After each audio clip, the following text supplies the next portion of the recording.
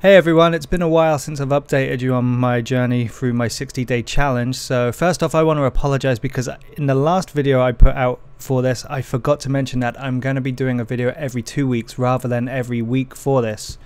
So this video is for weeks 5 and 6 and the last video will be for week 7 and 8.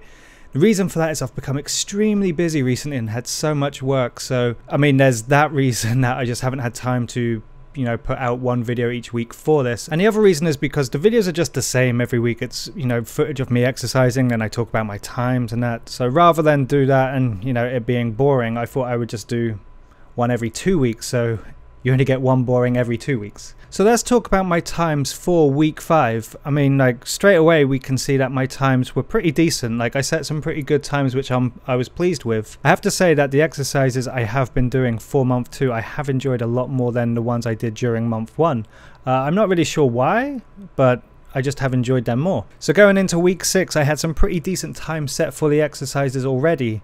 So I was pretty concerned about being able to, you know, even match them or improve upon them. But as you can see, we beat them, and now we're constantly in the 20 minute mark or around the 20 minute mark. So going into week 7 and 8, I'm hoping that in week 7 I can try and hit around 25 minutes for the ones that were I'm in the 20 minute mark.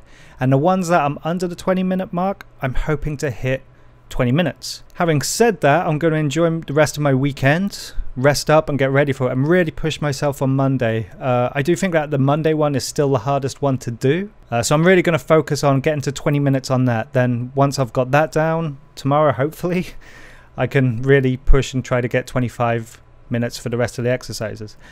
So anyway guys, just to let you know once again, I'm sorry that I forgot to mention that these videos are going to be every two weeks as opposed to every week. So the next video I will be putting out for this will be at the end of week 8 with the final results and the final weigh-in. Okay guys, welcome to the end of week 6 official weigh-in.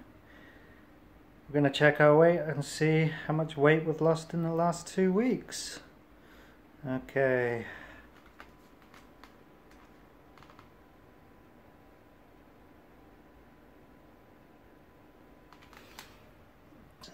71.5 kilograms. Okay, that's pretty good. So looking at the weight loss during the second month, it hasn't been as quick or as drastic as it was in the beginning of the first month. So again, that's down to my body naturally losing weight at a healthy pace. So I'm not really concerned about that. To be honest, I've completely forgot about like checking my weight. Um, it's just something that I quickly get reminded to do at the end as I'm editing these videos.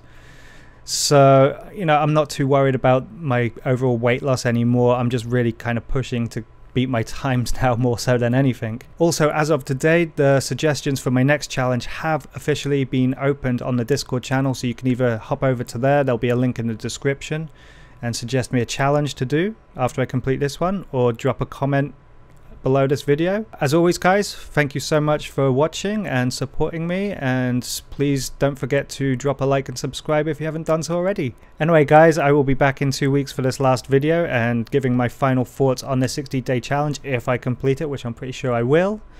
Uh, so I'll see you all then. Take care guys.